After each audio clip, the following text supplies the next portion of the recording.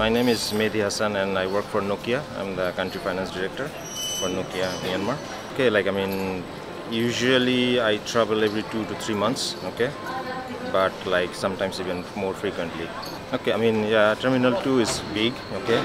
And uh, but Terminal 1 was like, I mean, because after the new, this terminal was uh, open, so a lot of flights moved to here, okay? So it was relatively faster, easier, immigration and everything over there and I'm not sure how it will take now here.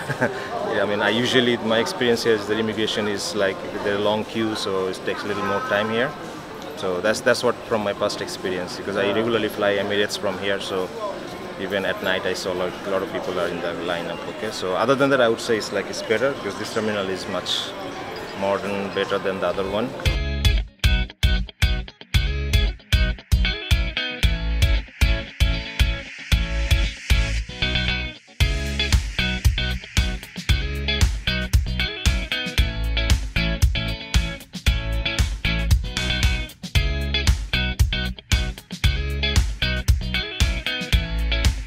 My name is Holly Hobart. I'm a, I'm a lawyer from the United States. No, this is my first time. Yeah, so far it's, it's very good. There's no lines. Everything was, was very easy so far.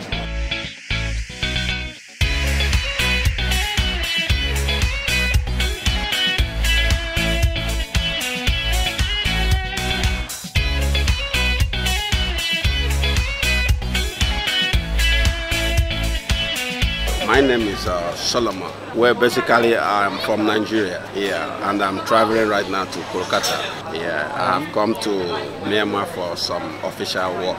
Yes, this is my first time traveling with Bangladesh Airline. No, I feel good. It's so easy to locate the, the station of uh, Biman Airlines uh, check-in, so I don't think uh, something, anything is wrong with that.